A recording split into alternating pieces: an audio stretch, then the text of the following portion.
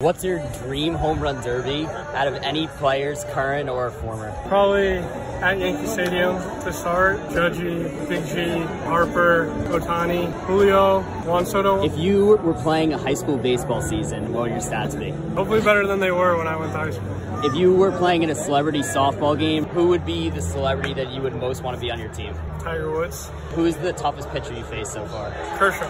What is your go-to pregame meal? Pizza. Good answer.